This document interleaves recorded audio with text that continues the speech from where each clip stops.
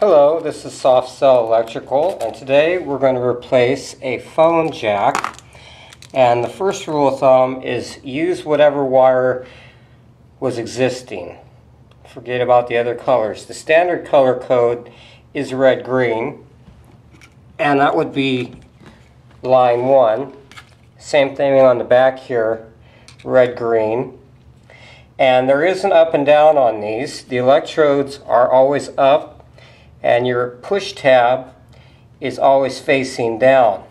So if it's like that, it's upside down, and that's the right way. So you just take your green, hook it over,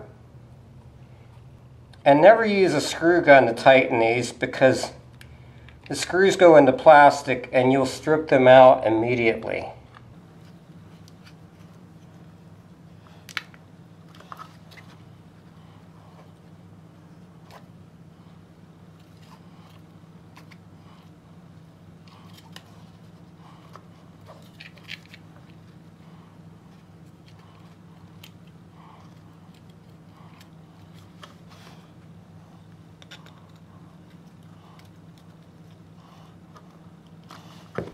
Now that's connected properly and as I said the tab, the release tab always faces down.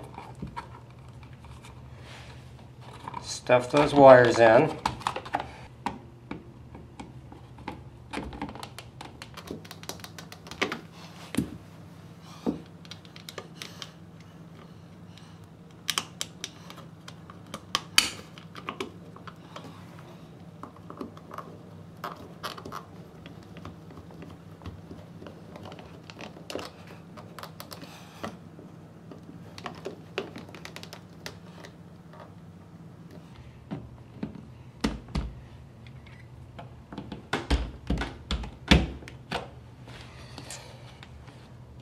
And that is how you install a phone jack properly.